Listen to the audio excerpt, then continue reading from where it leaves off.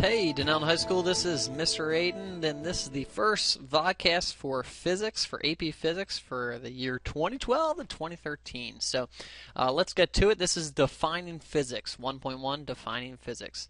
And ultimately, physics comes down to two main terms. It comes down to scalar and vector. And the biggest difference between what's something a scalar quantity and a vector quantity, which means there are numbers, is scalars have magnitude whereas vectors have magnitude and direction. Now, this word magnitude is just a fancy word for number.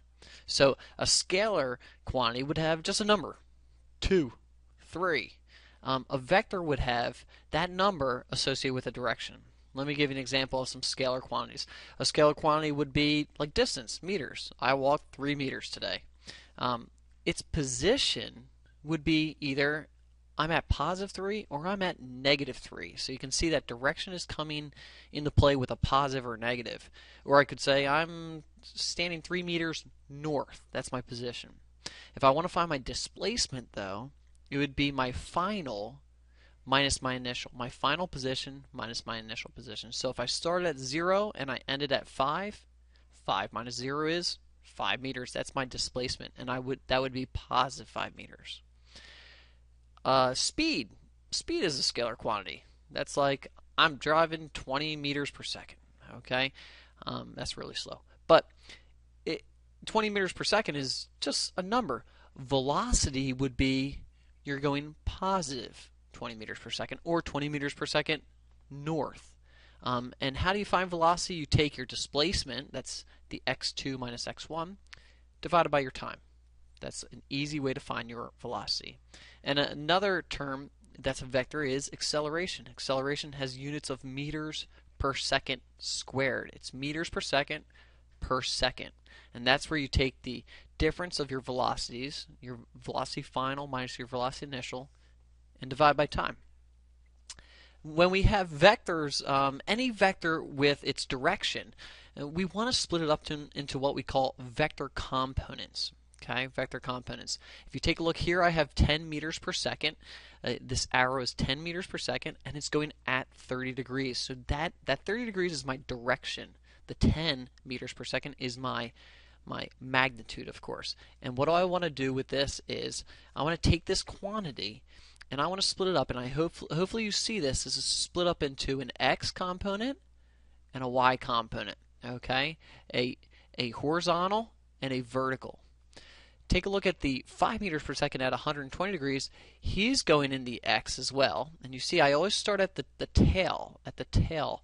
And I'm going in an x direction, and then I go to a y direction. Those are called my components.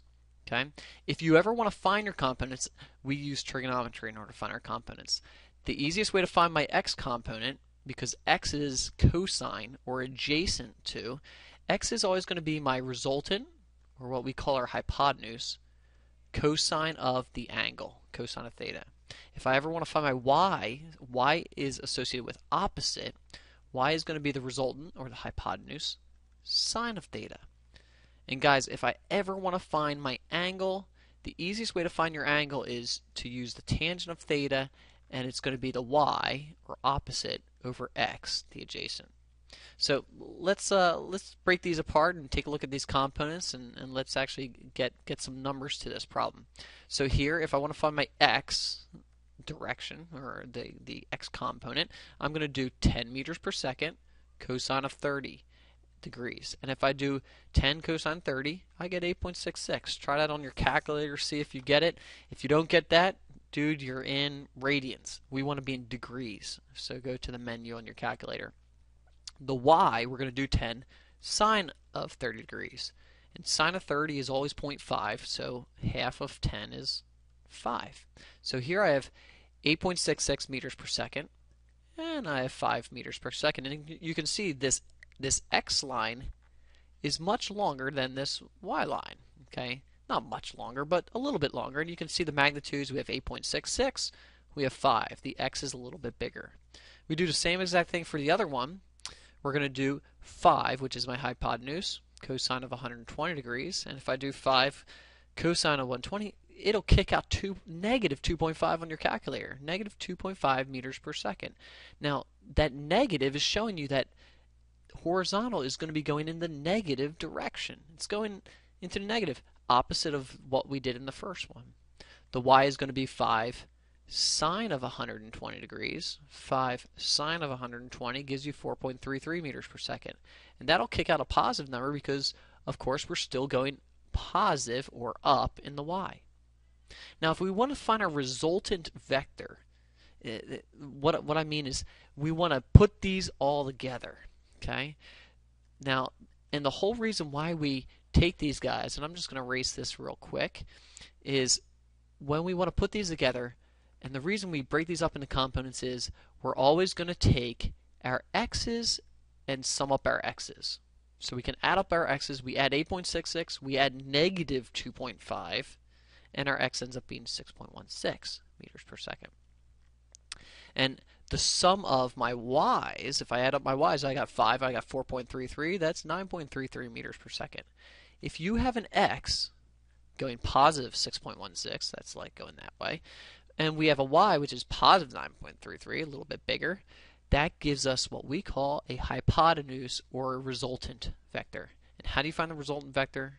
We use the Pythagorean theorem, don't we? We do 6.16 squared, x squared, plus y squared, and we add those bad boys up, and then we square root the, the answer, and that gives us our resultant or our hypotenuse. And if we do that on our calculator, our hypotenuse ends up being 11.18 meters per second.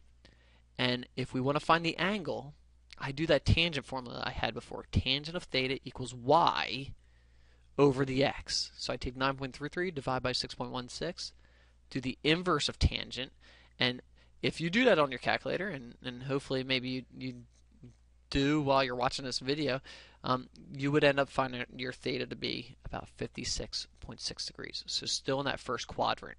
Okay. Now what I want to show you is if I take this vector right here, okay, and I take this vector right here, and I take a look and I see what happens, the resultant, uh, him going from there to there, from start to finish, you can see this vector, that was awful looking arrow in the x, and y, do you see how the y is a little bit bigger than the x? The y is 9.33, the x is 6.16, and this resultant, this big arrow right here, is 11.18. Okay? That's how you split things up in the vector components. That's how you add them together. That's how you get your result at the end. We're going to be practicing some of that in class, so make sure you know how to do it. Hey, go to www.mrayton.com, go to the AP Physics, and uh, go to there's a little link there for 1.1 defining physics.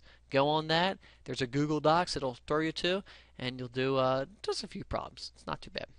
Uh, dude, I am psyched about this school year. I hope you are too. And uh, I'll catch you on the flip side.